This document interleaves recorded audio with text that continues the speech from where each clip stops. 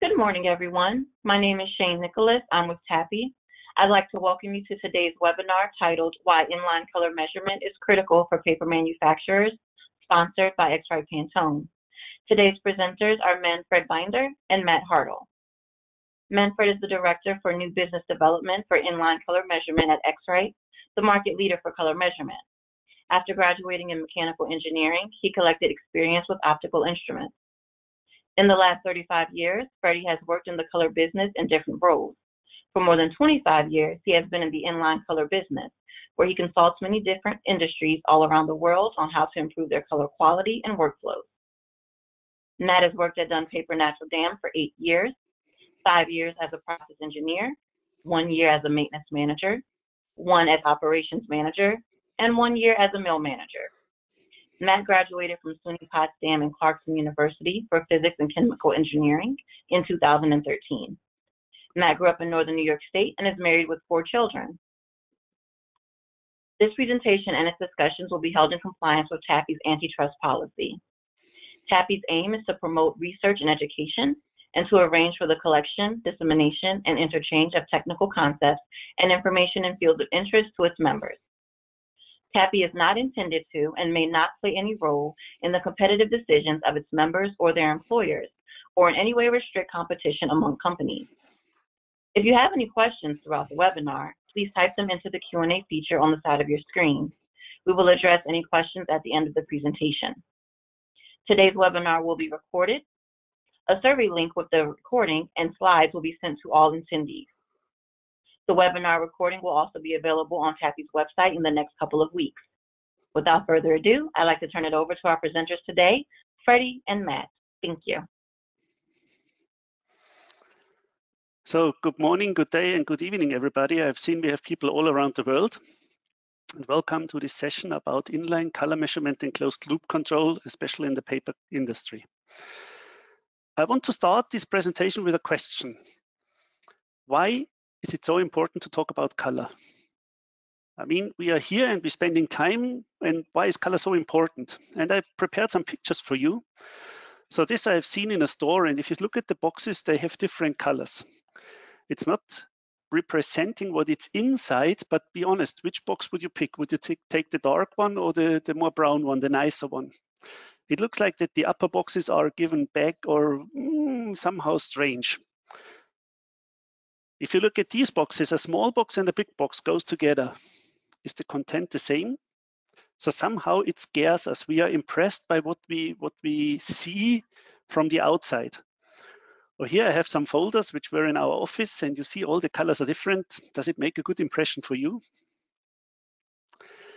We always say that color is a primary quality criteria, which means everybody can see color. It's the first impression what we get no matter if you are male or female, old or young, tall or small, whatever, everybody can see if there are color differences, and this makes it so makes it so critical. So the second question is, if everybody can see color, why do we have to measure it? Well, the problem is the following. If I show you this color swatch for some minutes and try to remember it, I take it away only for a few seconds and I give you a set of another color swatches.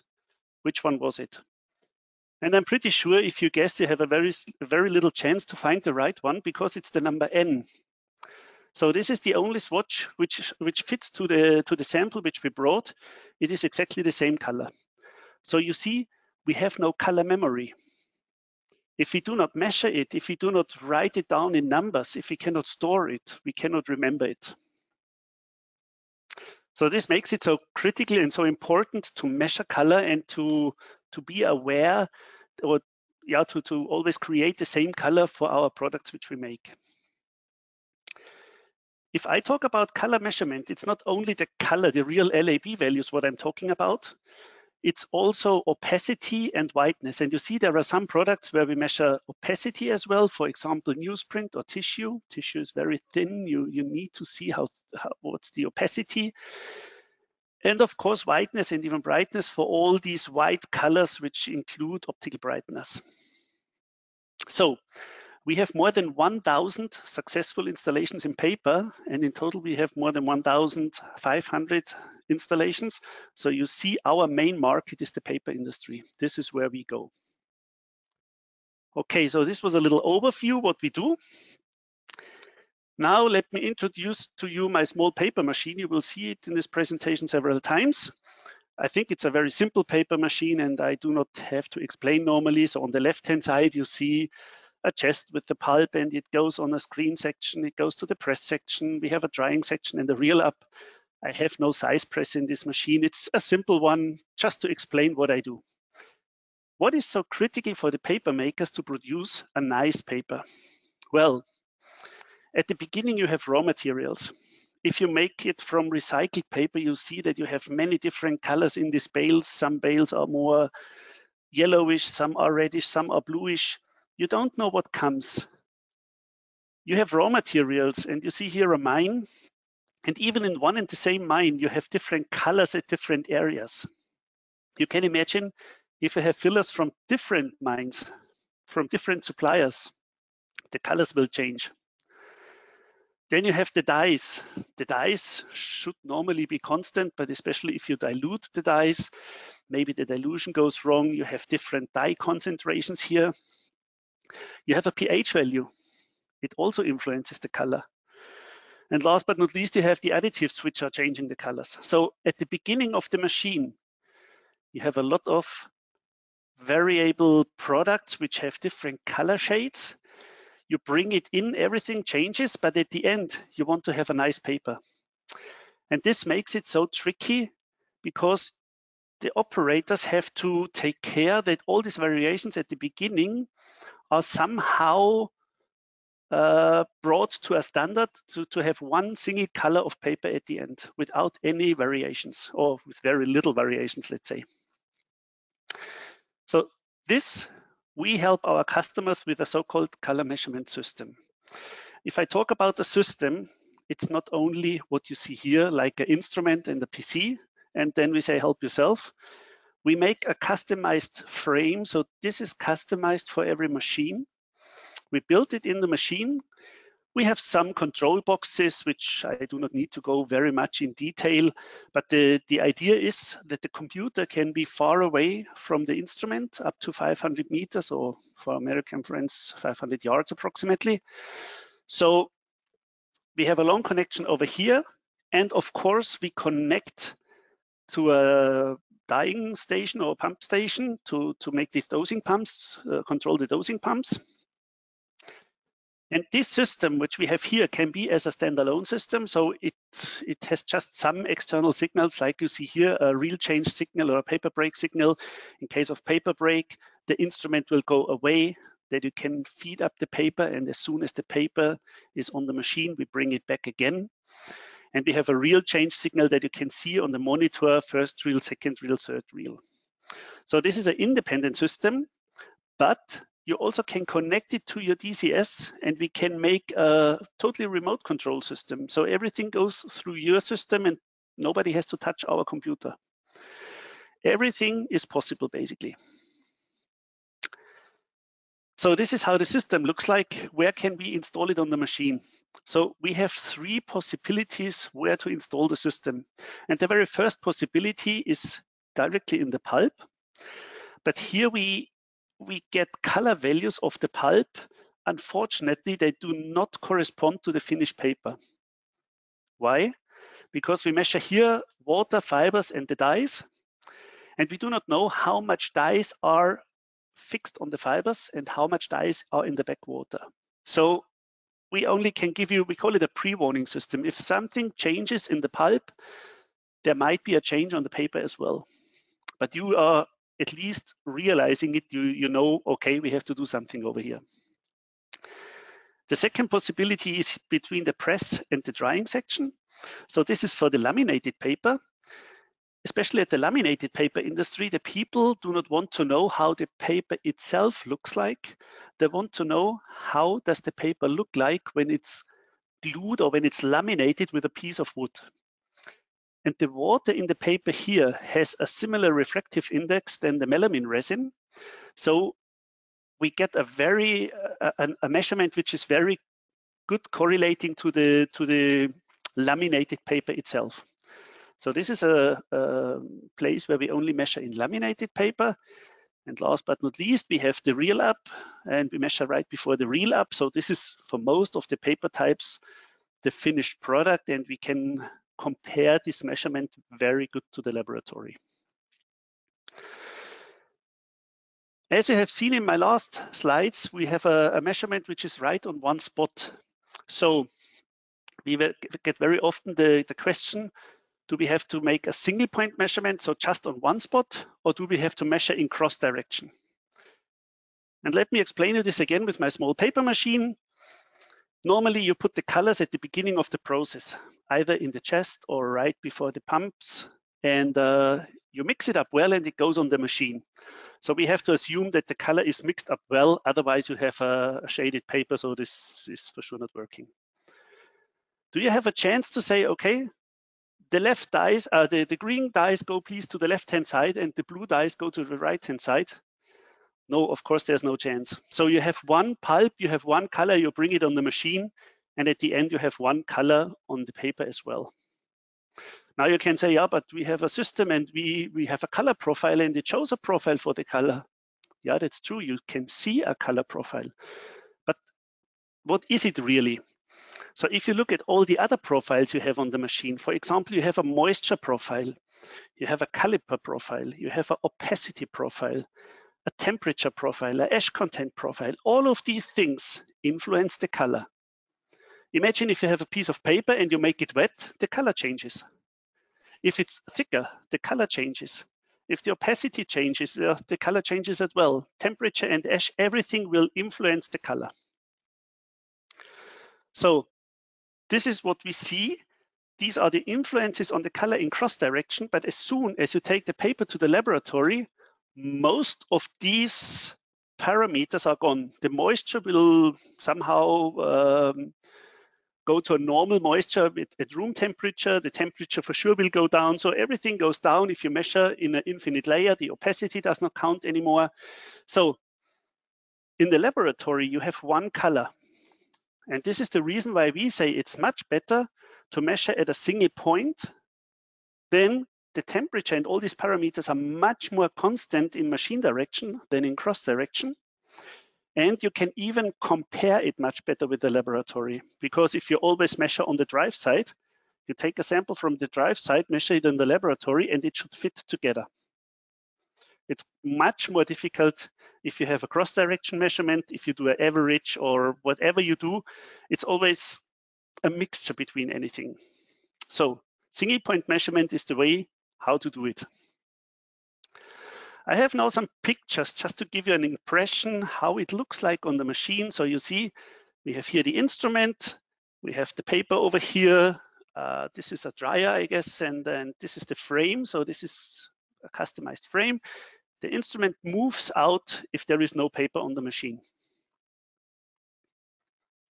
Here I have an instrument which you hardly see, but I want to show you that it's very often very close to these traversing beams. So this is where the color information is basically needed. So this is where we go normally. I have a special frame here for security papers. Especially in the security papers, you have these problems that you have watermarks inside. And if you measure on the watermarks, you get um, very fluctuating measurement, so it, it does not show the real paper. The idea is we move the instrument somehow in between the watermarks and we get a stable measurement again. If you would have a traversing beam, then you would measure watermark between the watermark, half watermark, so it's, it's a, an unstable measurement. So this is especially for these security papers. And I have another specialty. This is a frame for top and bottom measurement. So especially if you have papers which has several layers, top layer, middle layer, bottom layer, whatever, you can measure both layers and you even can control both layers. So this is not only important for, uh, let's say, office papers or something which should be nice, but also for these laminate, uh, for these um, test liners. because at the test liners you have a nice side which is the top side and you have the back side which is somehow also brown but maybe not that nice. So you can save a lot of money if the back side is not that nice not that deeply colored. And you can control both sides and it still looks good if you have a corrugated board. And this is how the instruments look like if we install them. Most of our pictures are done after installation. So the, the, the instrument looks very nice but especially especially if you go to a tissue company, it's really dusty over there. And you see here an instrument which was in use for not that long, one month, two months, I don't know. And it's totally dusty. And you see, this is the instrument, this is in service position. So it's moved away from the web. There is normally the, the paper is over here. It's moved away. This is the measurement aperture over here. And you see the instrument is dirty but the aperture, it has a lid, so normally it's closed. Only for the measurement, we open for a very short time, make the flash, and close it again. And during all the time, we have an air hose over here. It's difficult to see. It's this hose which goes in here. So we have an air flow inside the instrument, and we have here an air knife, which keeps the aperture clean. And you see here, even behind the aperture, it's quite clean. The dust is everywhere else. So this works very nicely. Um, yeah. This is how the software looks like. And you see, it's, it's quite easy to understand. The whole software is driven by some buttons on the left-hand side. And you see here the L value, the A value, the B value. So lightness, red, green axis, yellow, blue axis. And you have, for example, a delta E and the opacity over here. You can have up to eight different parameters you want to see. And it's quite easy to read because the bars are showing the colors. So for example, here we were a little bit too dark, a little bit too red, but much too yellow. Then it changed to dark to red to yellow. And at the end, we are to yellow to green, uh, sorry, to, to light, to green and to yellow. So even if you are not that familiar with the LAB system, you can see at one glance whether the color is good or not and in which direction you have to go. So that's quite easy and quite simple to see. So far, I was talking about color measurement. Now we go a little bit to the closed loop control. Closed loop control is basically the same. You have the machine, you have the measurement at the end, you see the LAB values on the computer, you know where you want to be, and you know the actual values. And then we calculate how much do we have to change the dyes to go back to target. We send this information either directly to a pumps kit. Sometimes we go also through the DCS system of the customer. The pumps are adjusted. We feed the dyes somewhere at this point. I show you later a bit more where and how and what we can do. With this new adjustment, it directly changes the color on the paper. It takes a while until we see it again, and then we can make the next control step. So this is this control loop what we have over here. And this works very nice. So why is it so difficult to control the colors? If you look at this, this is what some somebody or what, what everybody would like to have. You have one color which goes on the L axis, you have one color which goes on the A axis, and you have another color which goes to the B axis. But this doesn't work. You, you see at the L axis, I have even written a blue because this is a very typical system people use for brown paper. So the blue will of course change also the B value. So in fact, every color changes every value. And this makes it complicated. If you want to have it uh, more red, you can add the red, uh, you can increase the red, but maybe then it's going darker and uh, maybe the red also influences the B value. It's not that easy. It's even more complicated if you have an OBA. So everything is influencing everything. And this is why it's not that easy to make it manually or even to use a PID controller. This doesn't work at all because the, all these three PID controllers would influence each other. The only thing what works is really a mathematical model based on a color matching system. And then we calculate how do we have to change the dyes to go to the target. So with that said, what is possible?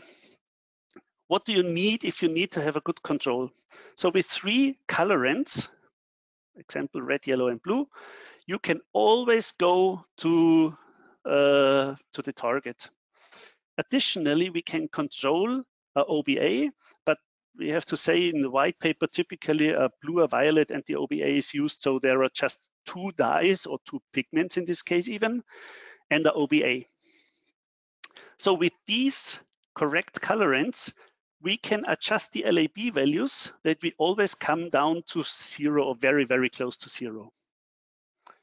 If we have less than three dyes, we can also do a closed loop control, but we cannot go directly to zero, but very close to, to zero. So what we do very often, especially if you talk about linerboard, if you get a pulp which is already too dark, well, we cannot make it lighter. So the only thing what we can do is we switch off the darkest color. In, in this example here, it would be the blue. And with the red and the yellow, we try to control the A and B value. So we let the L value float because it's the only chance we have and make the color somehow precise, the A and the B value. And there is one more thing. Um, the dye stuff supply is responsible for dye and injection points. That means if you use dyes from a certain supplier, I do not want to mention our name because we work with all of the dye suppliers and we are all good friends. We get from them the calibration samples so we know how the dyes look like. You get a fully prepared database which you can use. You do not have to prepare any samples or something like this. And together with the dye, uh, with the dye supplier, we define the point where to inject the dyes. So this is a, a a very important thing because the dye supplier knows the chemistry best, the chemistry of his dyes and typically also the chemistry of the paper machine. He can decide how long his dyes need to react with the fibers, where can we inject the dyes. If somebody goes for it, it's always important to say, okay, um, why, why should I go for it? Why should I put the color matching system in or a closed loop control system in because you want to save money. And this is not that easy because paper is not paper. So I have specified here several industries. We have a test liner, so basically the brown paper. We have colored, for example, office paper. I have a colored tissue, white paper, security paper, laminated paper. And the first thing, which is for all of these uh, paper types uh, valid, is of course you improve the quality. As you will always go to the target, the paper you deliver is always right and the customer basically cannot complain. If he complains, you can prove how your, your reel looked like and you can see what, what's the problem of the customer. All of these paper mills have also shorter transition and startup times. And I made it a bit bigger at the laminated paper because for them, it's the biggest advantage. Sometimes in the laminated paper industry, you have uh, very long transition times because you have to laminate the paper in between, which takes between 15 and 45 minutes. So you, you shut down the paper machine for 45 minutes to wait for the result from the laboratory, and then you do another trial. If you can save some of these trials, it's of course a, a big winning for them. And in my next slide, I also show you why other industry are, uh, uh, other papers are profiting from that. So why they have also shorter transition times. I will go to this in the next slide. You have dye savings. This is the over next slide, which I show you why you have dye uh, savings. But this is of course typically only for the test liner colored paper and colored tissue. On the white paper, you save pigments and OBA. Yeah. And then we have a waste storage and a waste handling. Everything what you do which is not on color is a basically a recycling material which you which you recycle again, but you have to take it out, you have to store it, you have to bring it into the process. So if you have not that much waste material, the waste handling it's much easier. You don't need that much space and to recycle it is also much easier. And at the end, we have a more efficient use of these uh, recycled materials because if you have a closed loop control, you just feed the, the recycled material or the waste basically in, and the closed loop control will keep the color constant. So I promised you now to show you how you can save uh, on, on the shade on the transition times. So if you make a paper, if you let's say start up the machine or go from one shade to another shade, the paper makers have to adjust different things on the paper machine. They have to adjust the flows, the width of the paper, the caliper, the chemistry, pH values, a lot of things. And after they have done everything, they change or they adjust the color. So they always say everything changes the color, but the color will not change anything else. So this is the idea behind. If you have set up everything, you finally adjust the color and the other parameters will stay constant. So far, so good. But what do we do?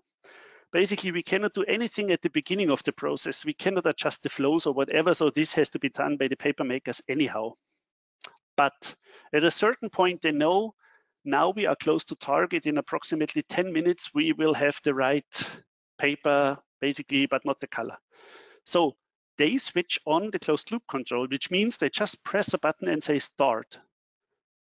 With this done, with this work, the closed loop control starts and it adjusts the color automatically. So typically, if the paper makers are finished over here, the color is also finished. They are on color without doing anything, just pressing a button. That means here is this period where you save time and which brings you the money. So you are much faster in startup and much, uh, much faster from shade changes from one to the other color. And on my next slide, I show you how you can save dyes, especially for the brown paper now. I have just taken one value, it's the L value. So let's say we want to make a brown paper which has a L value, a target value of 58. Especially in the brown paper, you have very huge tolerances of plus minus two, for example. So what happens? We start with the production, but paper makers always like to have the paper more saturated, more hmm, good looking. So they add more and more dyes. And the color becomes darker. But at a certain point, controlling comes over and they say, wow, we are far too dark. We, the costs are much too high because they're using more dyes. So they just change it to the lighter part. But of course, over time, paper makers add more and more and more, and it gets darker again. So this is not a question of some minutes, it's a question of some days. Yeah. They always like to have this nice color, so the dye consumption increases again. Now, if you look at the customer, the customer says your all of your paper is inside tolerance, but if you look at this point over here, and at this point over there, if I want to print on it, I got different colors. So I don't care which color I get, but I want to have the same color. And this is where the closed loop control helps.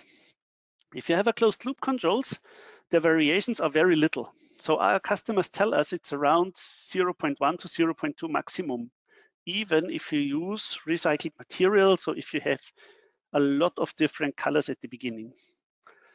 So you see, everything is very close. You have plus minus 0.2. And now um, with this, you have very low tolerances. So your customers are happy. And you can do now one trick and you say, okay, I make a new target. And this target is 59.5. It's still within tolerances. And now you have a paper which is also very constant but lighter.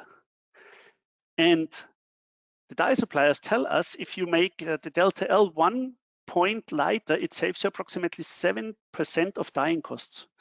So if you go to 1.5%, it's approximately 10%. If you have dyeing costs of 1 million US dollars or maybe two or 3 million, it depends on the mill, you can imagine you save 10%. It's a nice money per year. So if you look at the advantages of the automatic closed loop color control, it provides on-time process correction, so it, it does everything by itself. It minimizes the startup and the shade change times, which I told you before, by doing everything in parallel to the operators which are setting up the machine. With this said, it minimizes the off-spec production, so you are quicker on target, you have less waste, it improves the uniformity and the quality of the paper, which is for sure good of your customers. And it optimizes the dye usage, which we have seen before. It takes the guesswork out of the process. This is a very nice thing, which I did not mention so far. Even if you have an experienced paper maker, he may tell you, I know what to do. I know that I have to increase the red and I have to decrease the blue. How much? Yeah, maybe maybe 3%. Ah, let's let's try with two at the beginning, ah, maybe another half percent. So it needs several steps to go to the right amount. The closed loop control calculates that you need 2.75% more red and minus 1.63% blue. And then you are on the right color. And this is the big advantage. It takes the guesswork out of the process. And of course, the operators can focus on much more important things.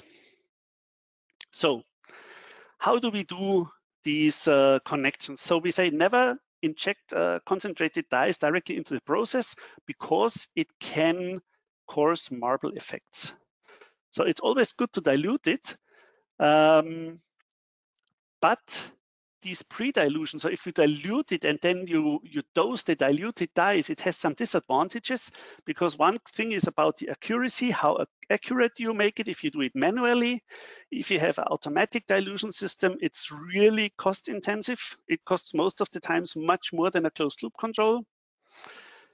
Then you have problems with the diluted dye because there is always a precipitation. Very often these urate crystals are sticking somewhere on the tubes, on the pumps, whatever. So the, the sh shelf time, let's say, of the dye is going down and uh, it causes always problems. So the better way um, use concentrated dyes. We pump concentrated dyes. And if you say, oh, but I make a white paper and I have very little uh, flows of the blue and of the violet, we have pumps which have uh, 0 to 0.6 liters per hour. So this is 0 to 20 ounces per hour with a ratio from 1 to 10,000. So there is a lot of zeros behind the comma or behind the point, sorry, to where, which is the lowest volume. So it's one drop in or a few drops in an hour, but continuously dyed. It's not one drop now and one drop in 20 minutes. It's continuously feed it into the process. So this works very nice. Um, with this, we have the best uh, achievable storage stability of the dyes because it's the concentrated dye like it comes from the dye supplier. You can keep it on your storage for half a year. You can keep it in the pump for half a year. It doesn't matter. It's not a difference. Uh, transport and dilution water will be diluted after this dosing point, so right before the injection point, and this avoids marble effects. And I show you how this works. So we have the dye, the concentrated dye, we have the pump over here, and then we add the water afterwards. And if you add, for example, 30 liters per hour or 8 gallons per hour, you have a dilution from 1 to 1,800. So it's, it's for sure no more marble effect. And with this, we have basically two ways. If you have more dyes than pumps, then you have three pumps, for example, and you have a very short line over here and a long dilution line over here. Or if you make the other way around, oops, uh, too quick, if you have, let's say for, for brown paper, you have always the same dyes, you have three pumps, you can make a long line over here and this line is very short. But basically you have the concentrated dyes over here and it goes directly into the pump and uh, it's, it's mixed up over here. So this is how the paper machine looks like, just the beginning of the paper machine. You have the white water over here.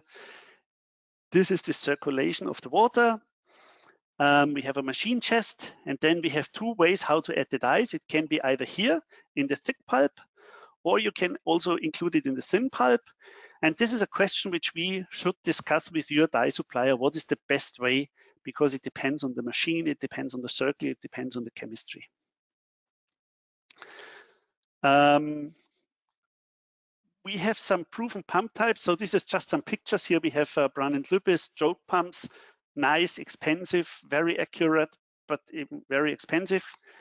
We also use these Grundfos pumps. This is at the moment, I would say, the most sold pumps. It's uh, uh, much cheaper, very reliable. And if you if you want to replace a pump, you just take it out, put a new pump in, and you do not have to repair it basically on the on the line. You just put in a new pump, and then you can repair the the old pump. And what we also have are these Bran and Lübbe pumps. So, uh, sorry, um, Watson Marlow pumps, it's a peristaltic pump. Also very nice for, for you can use different hoses to have different uh, dye amounts to be to be pumped. Okay, so now I want to hand over to Matt Hartle. He's working at uh, Dunn Paper Natural Dam. He's using our instrument for several years, so since 2015 I've calculated, and the closed loop control since 2017, and he wants to tell you something about his experiences. So Matt, up to you. All right, thank you. Um, yeah, so uh, our brief history of Natural Dam uh, Dunn Paper, we've been making colored paper here um, since the 1980s. Uh, it's we average more than 10 color changes per day. Uh, historically, it was a batch dyeing process, so so all of the dye, regardless if it was two pounds of dye or 350 pounds of dye, was all added in the pulper. Um, so that resulted in uh, large variances depending upon operator skill. And you know, as your as your broke comes back to the pulper, you have to continually mm, uh, change the amount of dye that you're putting into the pulper to maintain a passing color value on uh, for the customer. So we had large large differences, uh, reel to reel or uh, run to run. So the color value, another another issue we had, the color value that we were measuring um, that the customer specified, that was tested at the top of the reel. So we would get one measurement, we'd take a tear off the top of the reel when we turned it up, and we would uh, assume that whole reel was in color in, in spec. Now, without any online measurement, the bottom or the middle of the reel could be out of specification that we didn't know. So when the customer was converting it, um, they would notice that, and, and it's not something we could catch on site. Uh, the last issue we had, and it was probably the biggest issue, the operator skill and knowledge had to be vast. So um, making more than 300 different colors uh, in our in our palette, some operators may only see a color once a year, uh, depending on their shift cycle, and um, you know, so there was there was a lot of a lot of operator knowledge needed to maintain good color value, uh, and that was something we had struggled with. Uh, let's see, I'll go to the next slide. Uh, so, right, so it's part of the challenge is like I discussed, difference in color between pulper between pulpers in the reel, which results in guesswork, right? So we take a, you can take a sample out of the pulper that you've already dyed up. Um, you make a little hand sheet, shoot the color, uh, assume and assume you're on color. Uh, there's always color changes reel to, uh, from the pulper all the way to the reel when you finish the paper. The dye doesn't always you know, it cleaves off at some parts in the process. Refining changes the color value. Um, so there was always guesswork between the reel and the pulper. Um, our color palette was opening up. Uh, customers wanted different colors, more diverse colors. Uh, so our we started making more and more colors that were slightly different shades than each other. Uh, the color technicians put a lot more stress on them uh, the wide variations from reel to reel and in the same reel due to batch dyeing in the pulper. Uh, and we had more customers requesting colored paper. So the color runs were longer, um, which meant we would have more color changes, more changeovers resulting in more waste uh, due to color changes. All right, so we looked around. Uh, we figured the probably the solution was using some type of online measurement. Uh, we hadn't really gotten to the closed loop color control portion yet, so we had looked at a couple of different companies, and we uh, ended up settling on uh, X-Rite System. Uh, they brought in a uh, a test unit basically, so we could mount it on the reel section, make sure it was going to work. We had our doubts, but it, it, it worked well. So the inline close inline measurement we had uh, we could set tolerances for each color. Uh, the color was read in real time every 30 seconds so we had a very good understanding on what was happening in the reel. And once we installed the closed loop color control we could meter the dye based on color tolerances. So we were able to stay within uh, target uh, much tighter to target um, which increases customer satisfaction right so we reduced our color change times um, we eliminated off-color material mid-run, so that would be the issue with batch dyeing uh, in the middle of a run. Once you're on color, typically you stay on color unless there's an issue back in the pulper when they're putting their batch dye in, and then we would jump off color mid-run, not know about it. So the inline color control solved that problem. And then Uh, we did experience a lot of dye savings as well. A lot of it was due to running to target or running half a point light. Um, uh, operators generally, you know, you can always you can always add more dye. Dye you can't take it out. So they would, you know, we would have our operators would add dye, and we would constantly be running about a point to two points deep. Um, and uh, and and that's that's an issue with you know with with trying to save dye uh, if you're doing batch dyeing. So the inline color control and closed loop color control, we can dye up right in the thin stock uh, for the light shades, and we don't have to dye up in the pulper. And uh, we save a lot of dye by running our depth to target. Go to next slide. All right, so these are some of our results we we experienced. So our color change waste, we had a 50% reduction in color change waste. That's true even today. Um, it's nothing to take you know five minutes to get on color. Um, on any of the pastels or midtones. Uh, deep tones, we still batch dye in the pulper um, just because of the affinity of fiber uh, to dye. So you have a better uh, adherence in the thick stock. But on all of the pastel and midtones, it's a quick dyeing process. Um, our off quality color complaints, off color quality complaints were reduced by 95%. Um, pastel and midtones are fully dyed at the machine. So like I said, we send white pulpers and the X-Rite system does the rest. Uh, the deep tone colors, we do batch dye in the pulper still. About 90% of the dye goes in the pulper, and then we do the final trimming on the machine. Uh, and one of the biggest things we've noticed, you know, from a from a management and uh, um, operator standpoint, operator stress is decreased. We have they feel more confident running color. Um, it's it's certainly easier. There's uh, less call-ins at night because the operators can't get on color. That's virtually disappeared. Um, all in all, it's it's been a huge success for us, and we're we're glad to have found the system and, and worked with X-Rite to to uh, um, get the project approved and and uh, operational. So that's uh that's that's my uh my experience with the system, and um, I don't. You, do you want to close it out, Freddie? Um, thank you very much. It was uh, interesting to listen to you. I I knew that it's like this, but it's always always good if you hear it from a customer. Um, so thank you very much. Thank you very much. Um, I think we can open this now to questions from the audience. Thank you, Freddie and Matt. Um, the first question that I have is what are options, what options are there for customers with an X-Rite online measurement system currently, but no closed loop system? Well, it's easy. You can always upgrade your system to a closed loop control system. We use exactly the same instrument. It's just basically a software option. And of course, you, we need to connect somehow to pumps. So what I didn't specify so far we sell, of course, uh, not, not our own pumps, but we, we trade with pumps. We have these three pump types, which I've shown you. But if you have pumps already installed, which you somehow can remote control, we can use your pumps. We connect to your pumps, typically through the DCS system. And then you have a closed loop control. So it's this is very easy to upgrade. Thank you. The next question um, it looks like it's in regards to color change.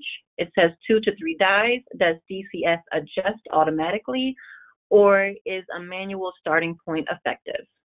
No, you can really start from scratch. So if you if you start up your machine, if you have no color at the machine at the moment, you set up your machine and when it takes you, it depends how long, how fast your machine is running. If it takes 10 more minutes until everything is fixed, you start the closed loop control, it starts pumping the dyes, and it goes very quick to the, the, to the color you want. So we, we can even make a color change in automatic mode from red to green, which of course is not very effective, but it can be done by the closed loop control and even in a very quick way. Yeah, and I'll, I'll add on to that, Freddie. There's there's uh, recipes for every um, color that you make. So if you make a if you make like uh, dark red and that's your color there's a there's a preset recipe that you can enter into the uh, closed loop system so that when you hit start it starts out at those at those metering levels and then it adjusts from there it doesn't have to start at zero and all of your recipes can be saved in the system Thank you, Matt and Freddie. Next question. A key difference between ERX50 and new XRA50? Uh, it's the XRA 45. Sorry, it's some people say it's a downgrade, but it's not. I wanted to come away from this. Uh, what is a 50? What is it? So I thought 45. It indicates the optics. It's a 45 zero optics. What is the advantage? Basically, the ERX 50 was running out of parts, so we had to develop something new. And we have some new advantages, and I will just point out two important ones. First of all, we make a temperature measurement with it. What is the advantage? If you, I, I, have shown you before that color measurement is also depending on the temperature, especially if you make brown, red, yellow, orange colors, you have a certain thermochromism. So if you measure the hot color on the machine, it's not necessarily the same then you have it later on in the laboratory. So if the temperature of the paper is changing, the color may change as well. At the moment, it's um, it's just uh, information for you, so you can see that the color at the machine, uh, the temperature at the machine has changed. Maybe this causes a color change as well in the future we plan to yeah to i do not want to to tell too much but we plan to correct this somehow so that we we can find a correlation between the temperature and the and the color and we can recalculate how it looks like in the laboratory. But this is future. This is not available right now. So at the moment we have the measurement the temperature measurement. And the second point which i want to point out is the dirt detection. So we have built in a tool to measure how dirty the instrument is. It saves you basically two in two ways. First of all, some people have a, a maintenance routine that every month they clean the instrument. It could be that after one month it's really dirty and you have to clean it. It could be that after one month it's it's totally clean and there is no need to clean it. So it helps you to to see when it is necessary. And if there is happening something on the machine, I don't know, a special paper break or whatever, where it's really dusty and the instrument is dirty, it gives you a warning. It tells you, hey, the instrument needs to be cleaned. And with this frame, it's easy to go to the instrument, take it from the running machine. You have a handle where you basically can bring it out. You can clean it very easy. You need a screwdriver for that. Calibrate it and bring it in again. And then you have a stable measurement. So it ensures basically that the measurements are correct, especially in, in terms of dust and dirtiness. So these are these two main advantages. There is some more advantages. We have a new power board, which is much more reliable. Some connections are made better. It's easier to service. We have uh, the plugs are made different because the old ones was difficult to plug in. With the new one, it's much more easier okay, this, these were the main issues of the new instrument. And of course, it's serviceable for a minimum the next 10 years.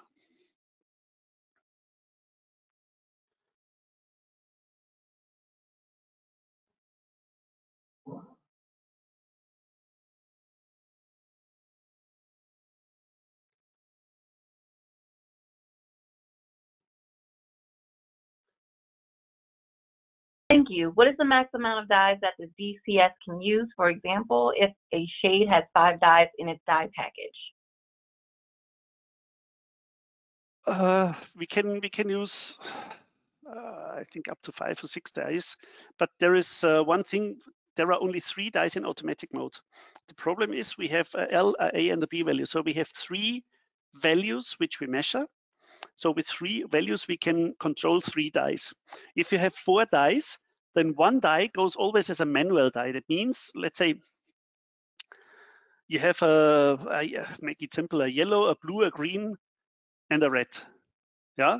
With blue and yellow, you can make a green as well. So let's say we make the green in a manual dye, and the the yellow, the blue, and the red will control the color if for any reason you say I need to have the green dye now as a as an automatic dye, you can switch it. You can say, okay, I want to switch the green to an automatic dye and the blue to a manual dye. And this goes automatically on the fly. But three dyes are controlled in automatic mode, and the other ones are uh, manual dyes which just run with a constant amount. Thank you. What if DCS and AutoLine don't correlate? Is this a cal calibration issue? Can you repeat this? What is DCS and? Sure. What if DCS and AutoLine don't correlate? Is this a calibration issue? Ah, okay. Uh, the outer line normally is measuring a little bit different. So you have a, a layer of papers which is uh, behind the paper you want to measure. If this paper is somehow not exactly the same what you have on the machine, of course the values are just close to, to what they should be, let's say. So this is sometimes which we face up as a problem. You should try to make um, uh, a real measurement on a, a laboratory system. It could be a Elrepho, could be anything else, it doesn't matter.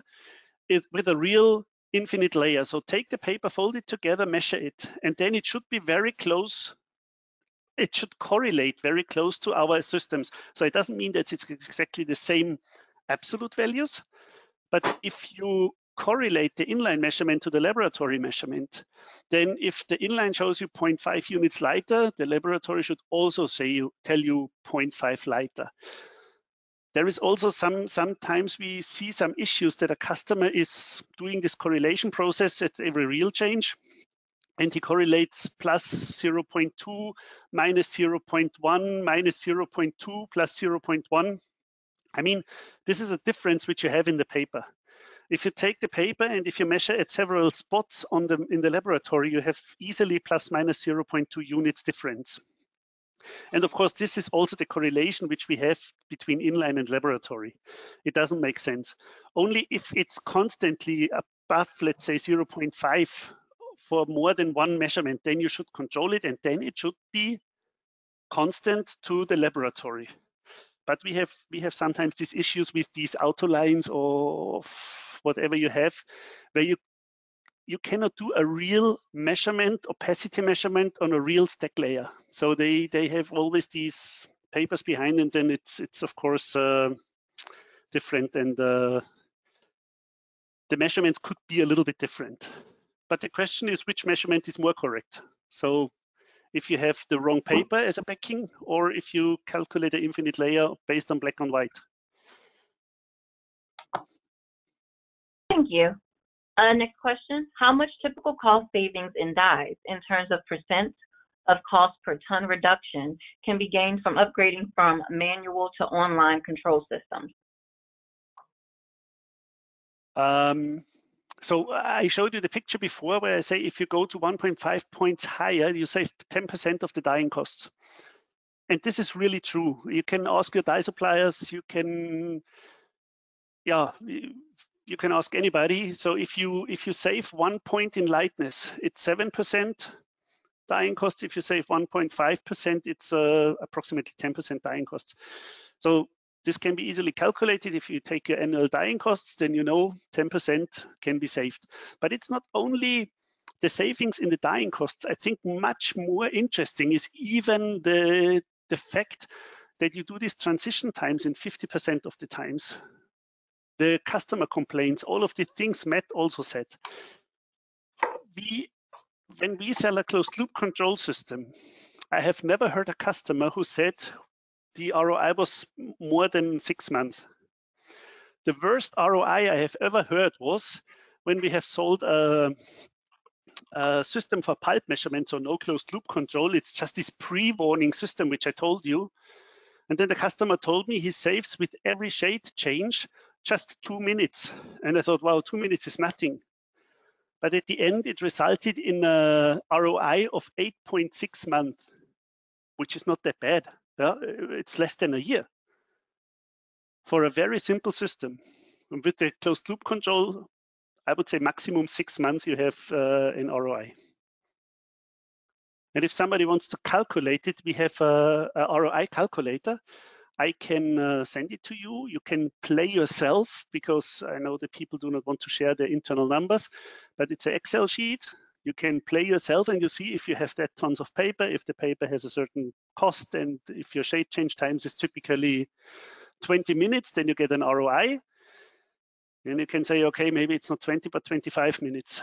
And then you see how much it changes. It's interesting. Thank you. Is calibration of a scanner or DCS required when a color is replaced by a similar color so as to sense the correct hue? Uh, the calibration is required in a certain time. So we have an internal calibration, which is done every, normally I, I, switch it to every 15 minutes, but this you do not see, it's done automatically. The sensor itself should be calibrated every two months. This is what we recommend to the customers. If you if you have a really dirty system, like in the tissue, it's it's just it's really dusty. You have to do it more often. But uh, let's say every month, every two months, you should calibrate the system externally, which means you have a white tile, you just slip it on the instrument and it's calibrated. It takes, the calibration itself takes maximum two minutes. Okay, you have to pick up the tile somewhere, you have to bring it back 15 minutes in total. So this is the calibration which you have to do on the instrument.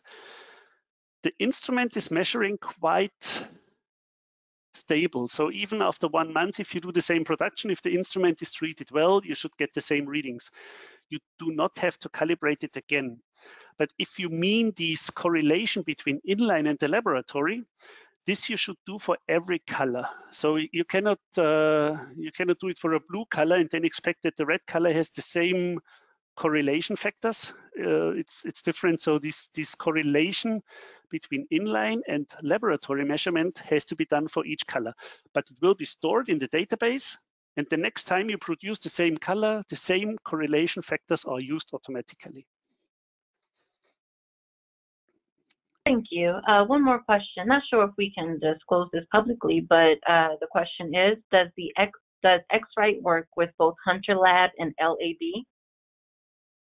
We can work with Hunter Lab values. We can work with uh, CIELAB values. Yes, we have all these calculations in our in our mathematics. So this is just the mathematics of the computer. We can use Delta E 2000, we can use CMC, we can use DIN 99, we can use, we have many systems inside.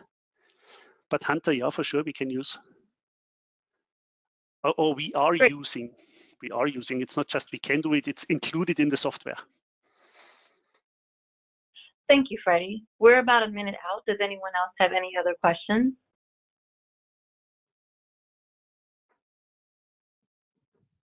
I'll give a couple more seconds.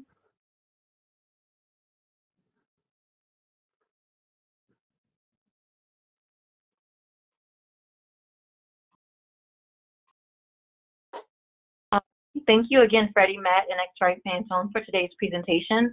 Um, as a reminder to all attendees, a survey with a link to the recording and slides will be sent to all of you in a few days. Uh, we encourage you to complete it so that we can get proper feedback on how to better serve you through these presentations. Thank you everyone for your time. This concludes today's webinar. Have a great day. Thank you everybody. Bye-bye. Thank you.